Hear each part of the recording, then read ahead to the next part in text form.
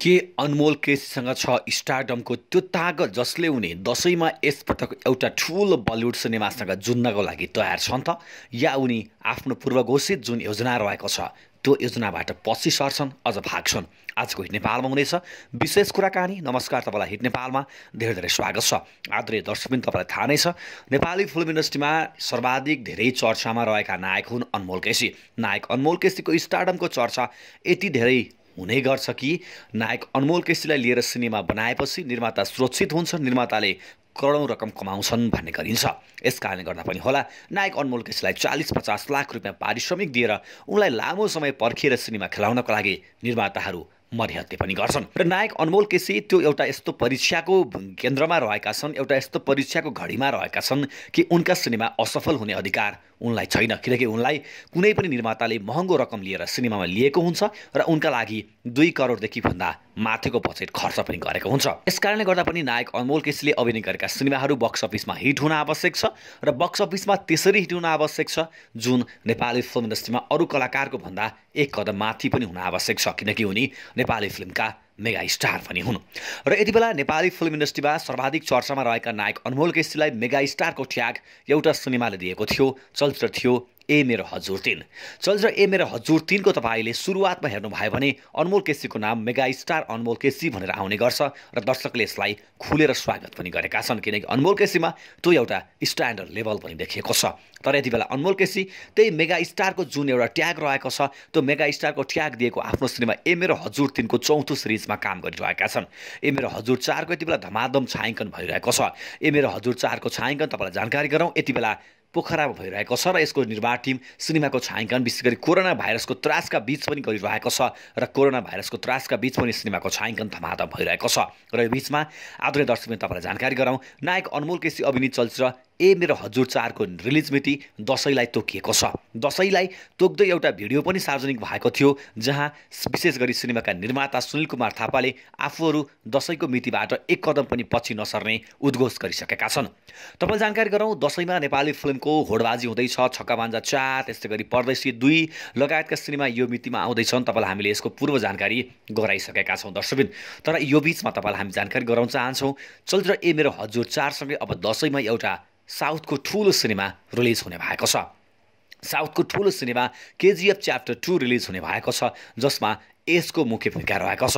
तपाईँले जानकारी गरौँ केजिएफ यस कारणले गर्दा पनि विशेष छ कि केजिएफ भन्ने सिनेमा जुन रहेको छ त्यसले नेपालका हलमा एकाउन्न दिनसम्मको व्यापार गरेको थियो र यसले विशेष गरी हिन्दी डबमा पनि नेपालमा एकाउन्न दिनको व्यापार गरेको थियो। यस कारणले गर्दा पनि केजिएफ नेपाली दर्शकको लागि सर्वाधिक प्रतीक्षित र सर्वाधिक आशातीत बन्ने कुरामा दुई मात्र रहेन।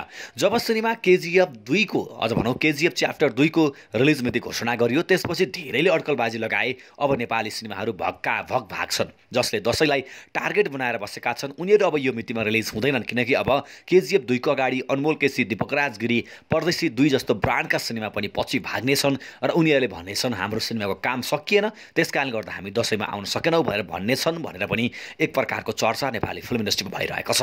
अब अनमोल केसी र ए मेरो हजुर चारको टिमसँग एउटा चुनौती के छ भने यो सिनेमाको टिमले दसैँलाई रिलिज मिति तोकिसकेको छ। अब केजिएफ टूको च्याप्टर जुन रहेको छ यसको डरले पछाडि भाग्ने वा आफ्नो स्टार्टअप देखाउने यति बेला नायक अनमोल केसी त्यो एउटा दोसादमा परेका छन्। तपाईँलाई जानकारी गरौँ नायक अनमोल केसीलाई नेपालमा विशेष गरी बलिउडका ठुला सेलिब्रिटीहरूको सिनेमासँग जुझ्न सक्ने औकात राख्ने नायकको रूपमा पनि लिने गरिन्छ। र नायक अनमोल केसीले यति बेला ए मेरो हजुर चारलाई दसैँमा रिलिज गरेर केजिएफ च्याप्टर टूसँग भिडेर त्यसलाई पछि पारे भने उनको मेगा स्टारको जुन ट्याग रहेको छ त्यो ट्यागले ठुलो एउटा योगदान पाउनेछ अझ भनौँ त्यो ट्यागको एउटा माइने पनि रहनेछ एउटा भ्यालु पनि रहनेछ। यस कारणले गर्दा यति बेला ए मेरो हजुर दुई पछि तिनतर्फ चार जुन छायाङ्कन भइरहेको छ र ए मेरो हजुर चारको छायाङ्कन यति बेला काठमाडौँ बाहिर भइरहेको छ। हामीलाई थाहा छ किनकि ए मेरो हजुर चारको छायाङ्कन अब प्रभावित हुनेछ। किनकि कोरोना भाइरसले युरोप बन्द भइसकेको अवस्था छ। थुप्रै देशहरू बन्द भएका छन् र नेपालबाट बाहिर जानको लागि पनि अब सजिलो छैन।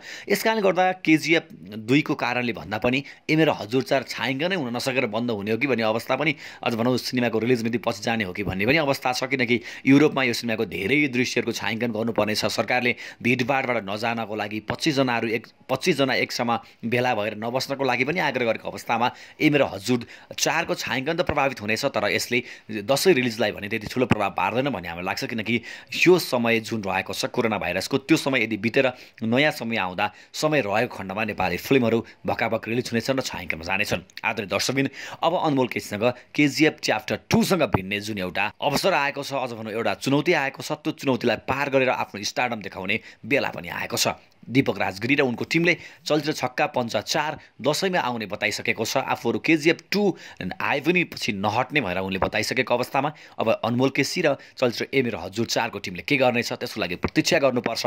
तर यति बेला नायक अनमोल केसीको स्टारडम मेगा स्टारको ट्याग देखाउने बेला भने आएको छ। तपाईँलाई के लाग्छ? अनमोल केसीको सिनेमा ए मेरो हजुर चार केजिएफ च्याप्टर टूसँग पछि भाग्ला या भिडेर अगाडि बढ्ला। तपाईँलाई के लाग्छ? कृपया तपाईँले हिट नेपालको रिपोर्टमा कमेन्ट गर्नुहोला र हिट नेपालको च्यानललाई सब्सक्राइब गर्नुहोला। आजको हिट नेपालको रिपोर्टबाट हामी सबैलाई बिदा दिनुहोस्। जे कुराहरू हिँड्छन् हिट नेपालमा त्यही कुराहरू मात्रै फिट्छन्।